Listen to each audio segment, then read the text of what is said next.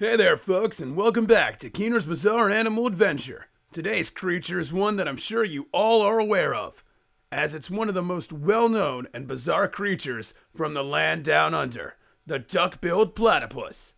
Native to the eastern parts of Australia, specifically Queensland, South Wales, Victoria, and the island of Tasmania, platypuses make their home in swamps, marshes, rivers, lakes, and pools.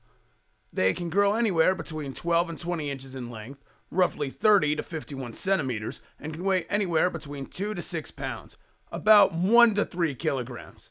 These flat footed mammals belong to a unique order known as monotremes. This order also includes their only living relative, the four known species of echidna.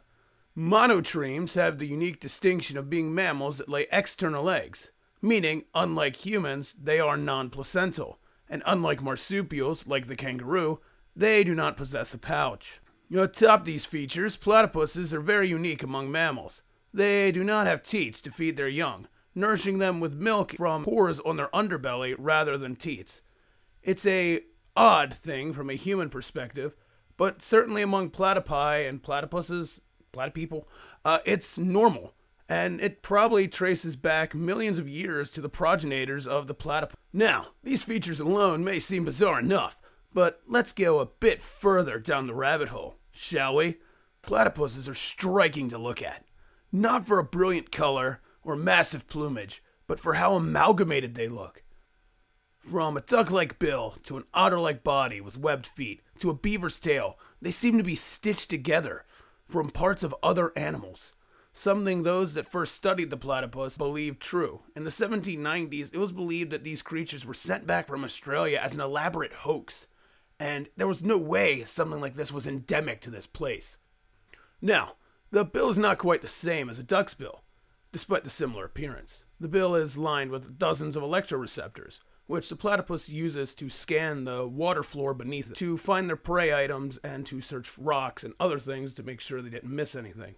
Their prey tends to be worms, shellfish, small fish, and a personal favorite of mine, just for how fun it is to say, the yabby, which are essentially just crayfish.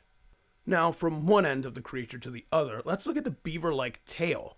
This flat tail is used, much like it is in a beaver, as a rudder and a balancing mechanism to move efficiently through the water and balance. And when you're going between rocks and sea plants on the bottom of a river or lake bed, that is very essential. Lastly, but not leastly, the platypus is among one of the few venomous mammals. There is a caveat to this, though. Only the male platypus bears the venomous barb. It is understood that this barb is used during mating season to conflict with other males over territory and the right to mate with a female, but it could also be used for defense, though there haven't been many reports on the dangers of this poison, so the aesthetic of the venom being dangerous to a human is not quite known. Thank you for watching the real Keehner's Bizarre Adventure on the Platypus. And I hope you have a good day, week of your life, and I'll catch you next time.